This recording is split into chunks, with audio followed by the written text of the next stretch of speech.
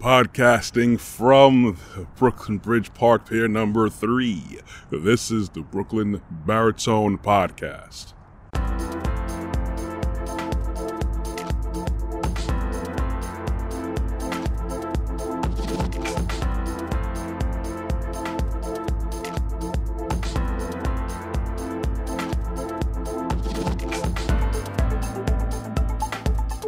As usual, it's bright and early in the morning when I am cutting these productions and podcasts. But whenever you decide to listen to these, morning, noon, nighttime, evening, it doesn't matter because I always appreciate the support, the likes, the looks, and I will always, as usual, support you hitting that subscribe and notification bell on my YouTube channel, Brooklyn Baritone. I like to always say that every day is a proper opportunity to learn something new, and it is if you have the proper mindset. Doesn't matter what state you're in and where you are. It could be something about yourself, it could be something about the person right next to you, it could be something about the room that you're in, or something that you've thought of in the past, or happened in past experiences with you, yourself, or someone else. I'm going to go further to say that education is super important. Definitely in my younger years, my older years now. I like to say I'm a good product of good education. At the same time, I'm a good product of knowing to have better discernment. Discernment of how things really are and were is just as important. As a matter of fact, I would even say it's in higher regard and more important than just having education.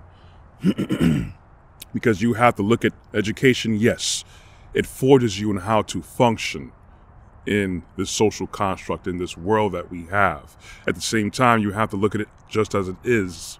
It's a construct, it is man's institution. We have to realize that there are many things that um, are passed over in regular education, especially here in the Americas. Other places, they have different methods of teaching their children and youth, so they have a better mindset and a more industrious and creative and uh, productive mindset than I have probably seen here in the States. Not knocking a lot of people here, a lot of brilliant people here, but things could definitely be way better.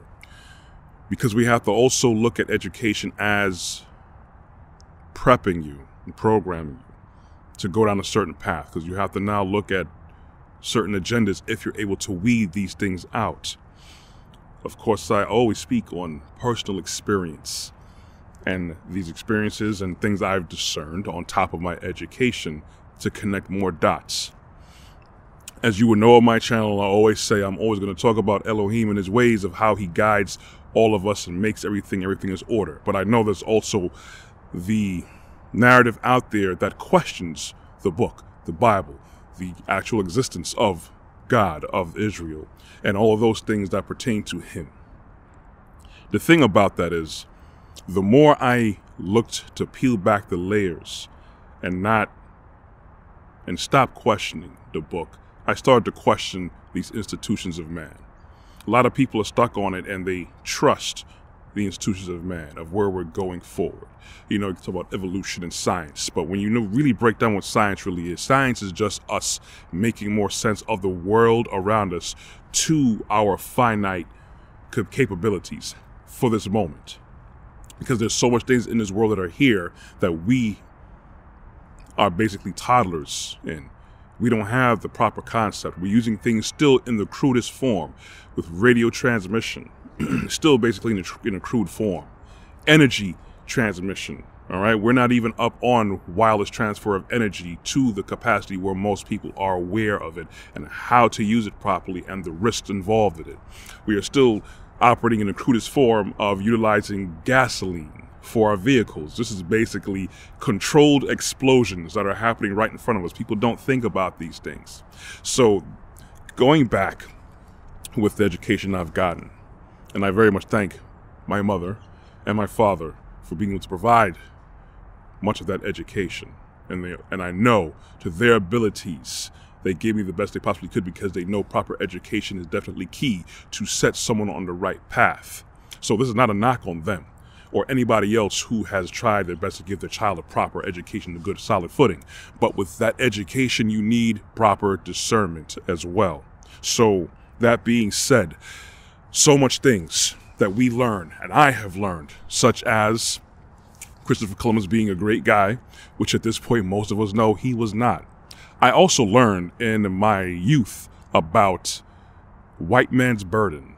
Yes, I learned about things like that and how basically it was such a plight of the Caucasians that were exploiting other peoples, mainly people of color, um, to progress themselves and keep them down. Other things I've learned that were hoaxes and frauds, as I learned in my later years in life about the Peking man and the Piltdown man, how those were major missing links to a major step in the evolutionary theory, which I learned later in life that those were hoaxes. Even um, again, I talked about him in one podcast. I believe his name is George Haeckel, or last name is Haeckel or Haeckel, where he basically made a fraudulent diagram of all the embryos of all the species just so he can erroneously point everything to being uh, a product of evolution.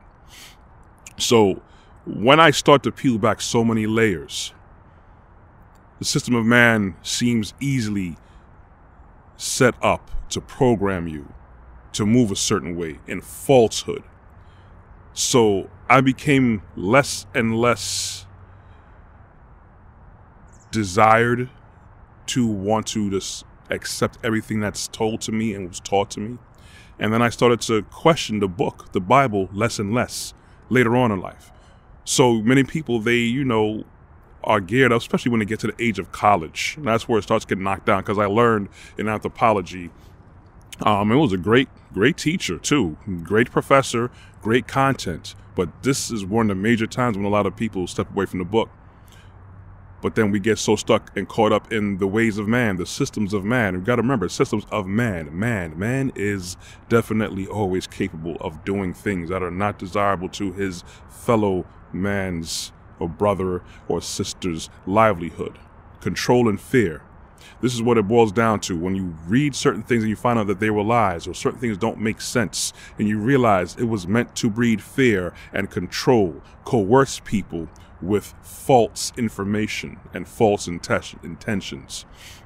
So when I started to actually dig into history more, and learn about actual history. And history is definitely the key for us to move forward, probably, because then you know the actual facts you can separate the facts of what really happened, of why things happened. And when you realize of when, how, and and and why things happened, it's easier to make decisions going forward in the future, what to trust and what not to trust. And I started connecting the dots and peeling the layers back away from man's system that has been taught to us and I started looking at the book and what Elohim was saying more and more is true. It started making more and more sense. But you have to do it yourself. Many people are that are at that crossroad and they're still there. I get it when you can understand that certain things that you've been taught to, you taught to you was a lie. You could have that anger. It's always okay to be angry, but it is not okay to stay there. What you do with that information. If you do it in a positive manner to impact yourself and others around you, then that is, my friend, discernment. When it's the point when we to stay angry, that's when we lead down the path of, of, of destruction. It's either discernment or destruction. I always say construction or destruction. So education is important, but discernment is key. That's all I want to say. I don't want to spend too much time here. You could always catch the rest of my content on my website, which is www.brooklynbaritone.com. You can always catch more of my content on my YouTube channel, Brooklyn Baritone. Make sure you subscribe. You can also find me on LinkedIn under Corey Ashley.